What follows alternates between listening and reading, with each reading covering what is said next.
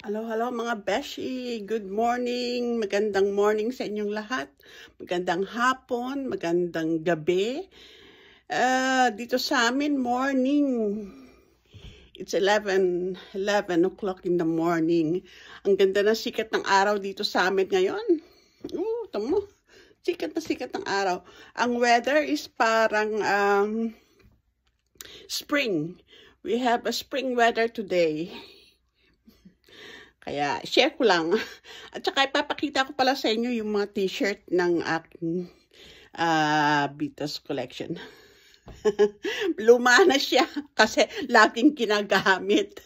Kaya, share ko lang, papakita ko sa inyo. Ito siya mga best.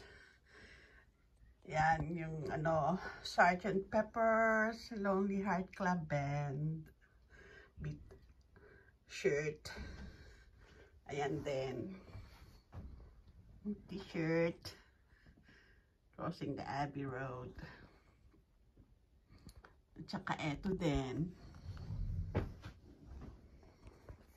Ayan. Ang ganda. Mga original merchandise po sila. Ayan o. Oh. It's original merchandise sila.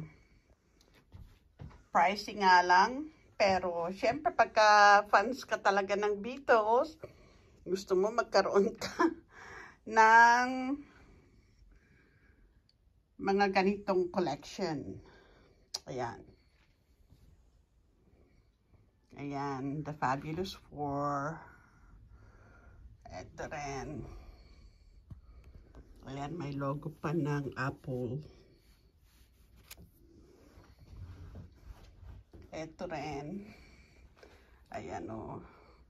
oh, ang cute nila. Ayan, John Lennon. Paul McCartney. Ringo and George. At saka, ito rin yung t-shirt ni John Lennon. Ayan. Tapos, meron din ako dito t-shirt ni John Lennon and Yoko Ono.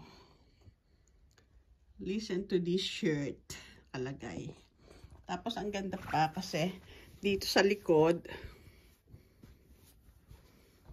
yung likod is nakalagay all we were saying all we're saying is give peace a chance Ayan. Very nice shirt. Kaya, ayan lang po mga best. Sinare ko lang po sa inyo ang aking mga t-shirt. Ang aming mga t-shirt.